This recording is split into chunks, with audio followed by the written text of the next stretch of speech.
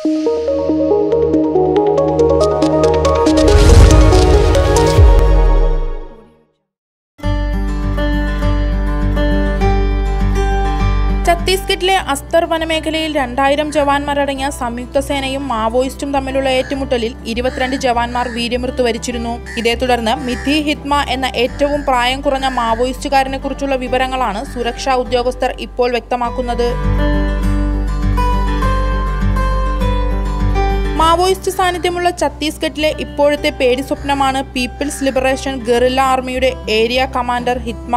Maoist കേന്ദ്ര സമിതിയിലെ ഏറ്റവും പ്രായം കുറഞ്ഞ ചെറുപ്പക്കാരനായ ഹിത്മയെക്കുറിച്ച് പുറം ലോകമറിഞ്ഞത് രണ്ടായിരത്തി പതിമൂന്നിൽ ഇരുപത്തഞ്ച് പേരെ കൊലപ്പെടുത്തിയതോടെയാണ്.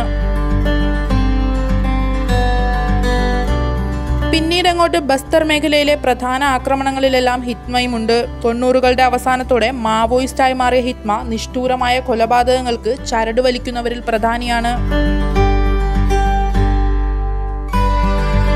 ദണ്ഡകാരുണ്യ ദളത്തിലെ അംഗമായിരുന്ന ഹിത്മ പത്താം ക്ലാസ് വരെ പഠിച്ചിട്ടുള്ളൂവെങ്കിലും പിന്നീട് സ്വയം പഠനത്തിലൂടെ ഇംഗ്ലീഷ് വിദ്യാഭ്യാസം കരസ്ഥമാക്കി. മൂന്ന് വലയങ്ങളുള്ള സുരക്ഷാ സംഘത്തിന് നടുവിലാണ് ഹിത്മയുടെ സഞ്ചാരം. ഗറില്ല യുദ്ധമുറകളിൽ പരിശീലനം ലഭിച്ച ബസവരാജുവും ഹിത്മയും മാവോയിസ്റ്റുകളുടെ തലപ്പത്തെത്തിയതോടെ ആക്രമണ രീതികൾ ഇവർ മാറ്റുന്നതായി ഉദ്യോഗസ്ഥർ പറയുന്നു.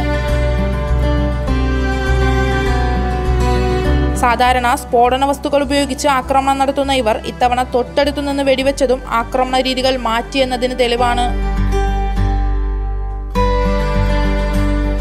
മാവോയിസ്റ്റുകളുടെ പൂർണ നിയന്ത്രണത്തിലായിരുന്ന ബിജാപ്പൂർ മേഖലയിൽ സുരക്ഷാ ഉദ്യോഗസ്ഥർ ആധിപത്യം ഉറപ്പിക്കാൻ തുടങ്ങിയതോടെയാണ് ഇപ്പോഴത്തെ മാവോയിസ്റ്റുകളുടെ ആക്രമണത്തിന് പിന്നിലെന്ന് വിലയിരുത്തൽ.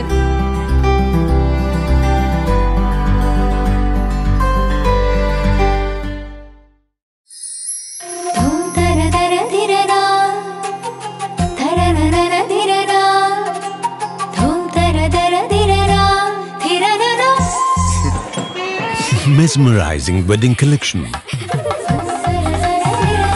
Tejaswini by Chungat Jewelry.